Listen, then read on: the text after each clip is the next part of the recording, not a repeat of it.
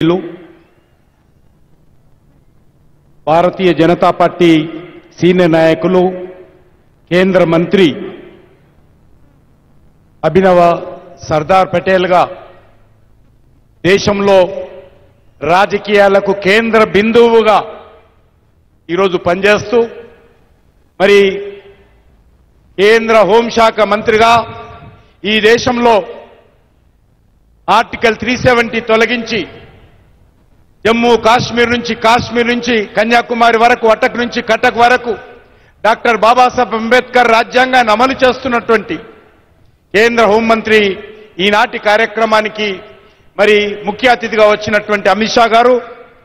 అదేవిధంగా భారతీయ జనతా పార్టీ రాష్ట్ర రథసారథి పాదయాత్ర నేతృత్వం వహిస్తున్నటువంటి భారతీయ జనతా పార్టీ రాష్ట్ర అధ్యక్షులు పార్లమెంట్ సభ్యులు బండి సంజయ్ కుమార్ గారు.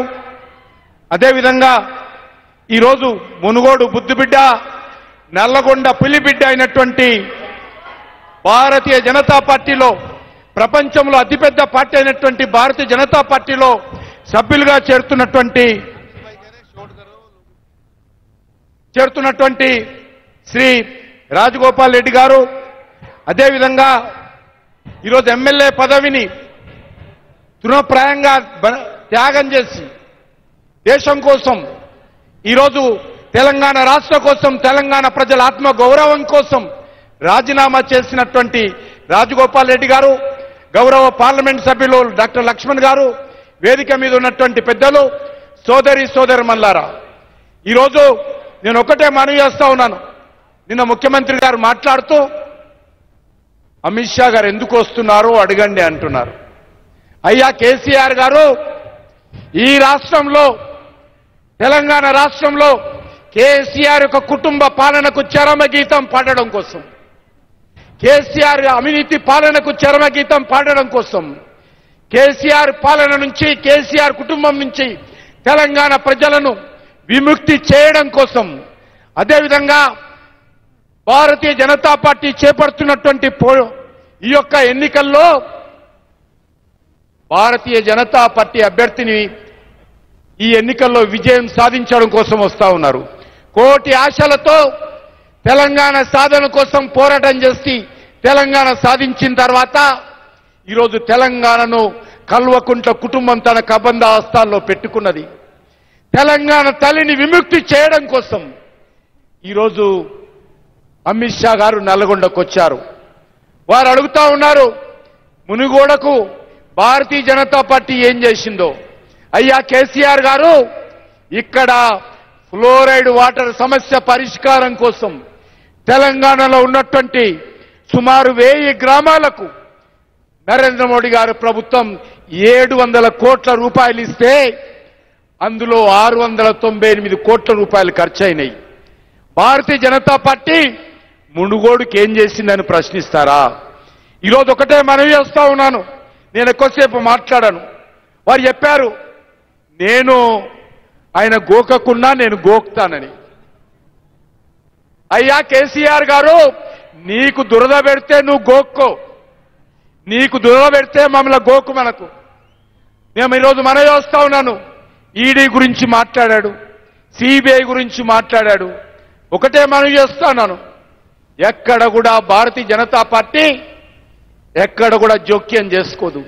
ఈడీల విషయంలో సిబిఐ విషయంలో నరేంద్ర మోడీ గారి ప్రభుత్వం ఆదేశాలు ఇవ్వదు. ఎవరైతే అవినీతికి పాల్పడతారో ఎవరైతే అక్రమాలకు పాల్పడతారో వాళ్ళకే భయపడతారు తప్ప ఈడీల గురించి మిగతా వాళ్ళు భయపడాల్సిన అవసరం లేదు. ఆయన ఒకటే చెప్పాడు. ఈరోజు నేను ఈ సందర్భంగా మనియొస్తున్నాను మీరు పదే పదే అవినీతి దర్యాప్తు సంస్థల గురించి మాట్లాడుతూ ఉన్నారు.